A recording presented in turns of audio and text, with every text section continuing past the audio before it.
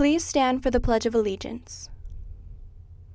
I pledge allegiance to the flag of the United States of America and to the Republic for which it stands, one nation, under God, indivisible, with liberty and justice for all. Please remain standing for a moment of silence. Thank you. You may be seated.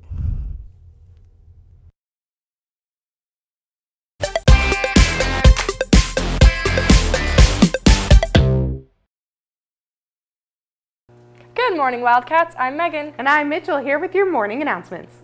Today, head over to Miss McTagg's room for a photo club meeting at 2.30 in room 300. Student Council is having a fundraiser tomorrow, January 28th at Bobo's. Now for a new segment, Pop Talk with Adriana, Mitchell, and Patty, and then over to sports with Patty and Tanner.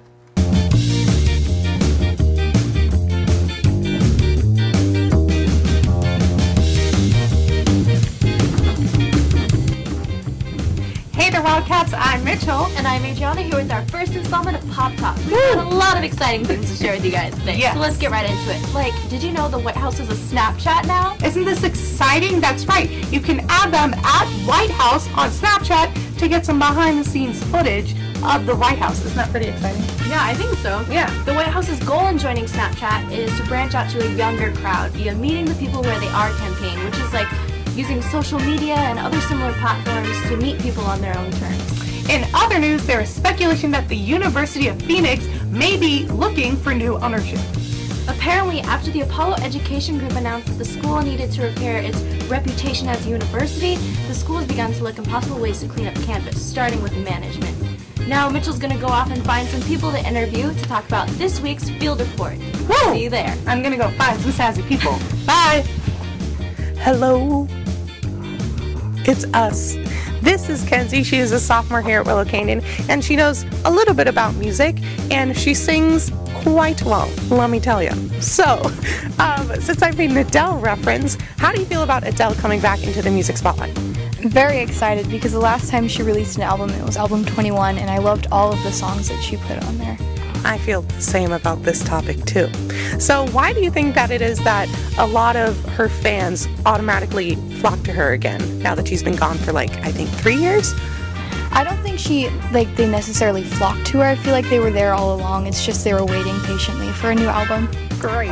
I love to hear it. Thank you, Kenzie, for having an interview with me. And now we're going to go on to our next one. This is Morgan, and she's a varsity softball player here at Willow Canyon and an avid football watcher. So, since we're talking about football with the NFL postseason in full swing and the Carolina Panthers taking that top seed, there is still a, one question that comes back to mind that happened back in week, four, week 14 against the Giants. What happened between Josh Norman and Odell Beckham? So, what do you think was the reasoning behind Odell Beckham's actions in the game? I think that, as we all know, in the NFL, we like to talk a lot of smack. So, they, um, I think the smack talking just got a little out of hand and it just got overheated. Awesome. So now, do you think that Josh Norman should have received the same type of punishment or even worse? Absolutely, Now, why is this? because the it's a it's a fight. So they they fought um, 50-50. So I think they both participated and they both should be punished. Oh, so you're saying that they have equal parts? Absolutely. Awesome. So now that's all we have from Morgan, and now back to Patty for a music countdown.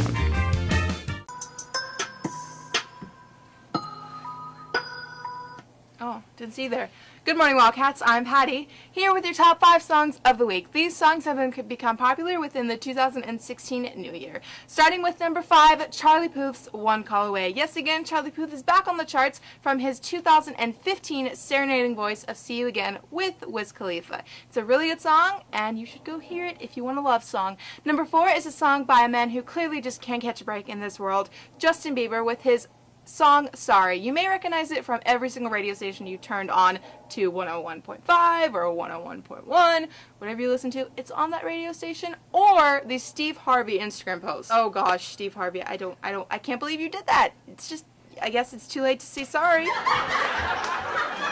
Eh? No? Okay. Number three on the iTunes chart, we see Adele again. She took a quick break, but just like when Adele says hello, we seem to flock to her music. So now we go down to number two, which is personally my favorite off of the charts. It is 21 Pilots, and it is Stressed Out. If you're stressed out in class, listen to it. It's an amazing song. And now, number one. Love Yourself by Justin Bieber. I hope I got an amazing edit of a drum roll courtesy by Mitchell. Anyways, number one is Love Yourself. Again, can't talk too much about the song. It's amazing. I highly recommend you listening to it. It seems that all of these songs on this chart is pretty good, so be sure, get a chance, go on iTunes and look it up. That's all we have for this week's of your top five songs. And who knows, maybe next week I'll do different genres or different songs. Hopefully it's different songs. If Justin Bieber is on the charts one more time, I don't know what I'm going to do. That's all I have. Signing off. Hey there, Wildcats. I'm Tanner. And I'm Patty here with your sports update.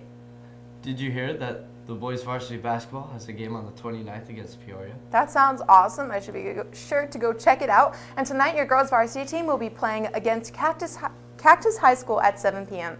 I bet that will be a good game. Also, the boys varsity soccer team will be playing against Mountain Ridge at 6 p.m. today.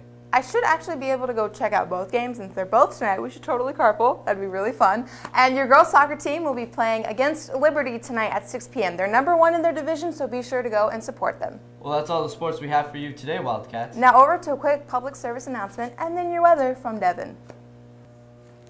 Yo, what's up, Whale Wildcats? It's your boy Devin with the weather for today. Today we'll have a high of 65 and a low of 39. Let's see the rest of the week.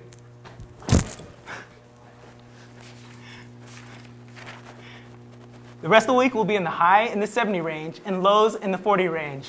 It'll be partly cloudy pretty much all the week. All right, now let's go back to your main anchors. Thank you, Devin, for that very special weather update. Robotics will be meeting Tuesday through Friday starting this week in room 400 after school. If you have any announcements, please, please, please send them into our email at wchsannouncement15 at gmail.com. And that's all the news we have for you today. Thank you for tuning in, and we look forward to seeing you tomorrow. And, and have, have, a great, great Dysart day. day.